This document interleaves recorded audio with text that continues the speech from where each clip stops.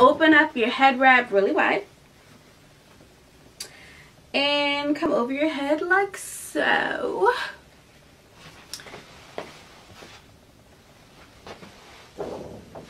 You are going to take one section one way and one section the other way. Make sure that the leftovers are kind of tucked in the center so they don't show when you are finished with your style. From there, we're going to take it back to the front. You can kind of push your head wrap to your liking. And we are going to tie once. You kind of want to like tuck all the extra stuff in.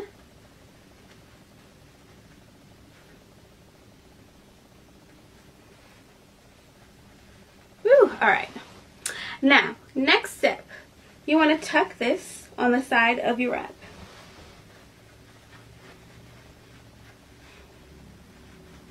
Get Tuck it, tuck it.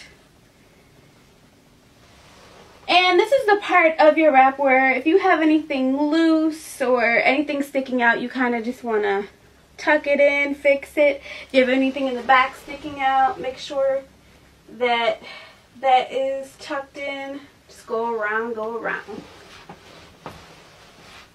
Last step, we are going to twist the little leftover like so, like a little, little, little candy. and tuck it on the side.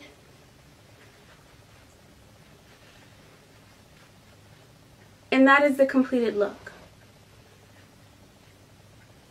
Now, if you were to ask me, I think this look looks great on those who have braids or locks um, because you have, it just looks, the head wrap looks more centered.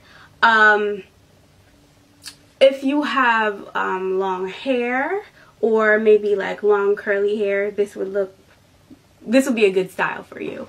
Um, I don't really per se care for this look when it's like completely covering the head. I think you should have a little something. You know what I mean? Dangling down for drama. It's a great everyday look. Um, it's it's what I call a get up and go look. It's not hard to tie. Just one, two, three, four. Let's go. so if you're loving this look, give it a thumbs up. Um, and I will see you guys next time. Details are below for this head wrap. Alright, see you guys next time. Bye!